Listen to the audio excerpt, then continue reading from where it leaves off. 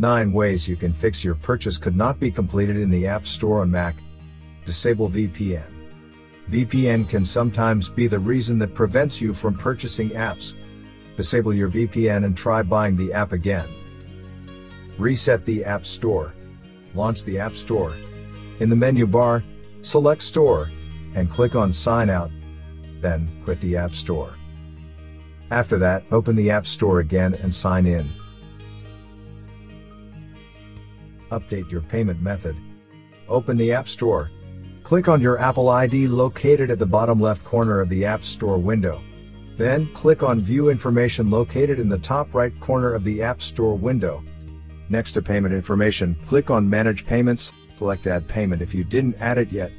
Select Payment Method, and enter the billing information.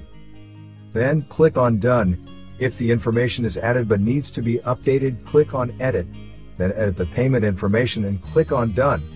Your Apple ID is linked to too many payment methods. When you link your Apple ID with many payment methods, Apple sees this as a suspicious activity. The only solution to solve this issue is to contact Apple support. Disable content and privacy restrictions. Go to the Apple menu by clicking on the Apple logo. Click on System Preferences, then go to Screen Time, and click on Content and Privacy if the screen time is enabled. You can click on Turn Off at the top right corner to disable screen time. Delete the App Store cache. Make sure you've quit from the App Store. Then, launch Finder and in the menu bar, click on Go, click on Go to Folder, in the path bar, enter tilde slash library slash caches slash com dot apple dot app store slash cache dot db. Then, when a folder opens, locate the file cache.db and delete it.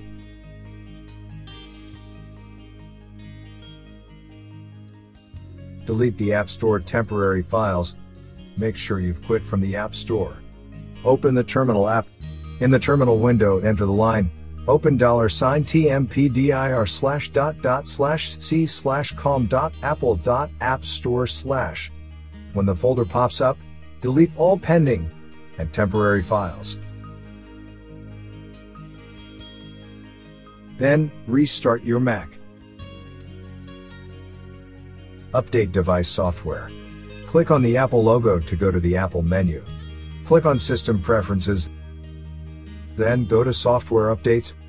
Wait for your Mac to look for updates. If you found any, update your Mac. Contact Apple support.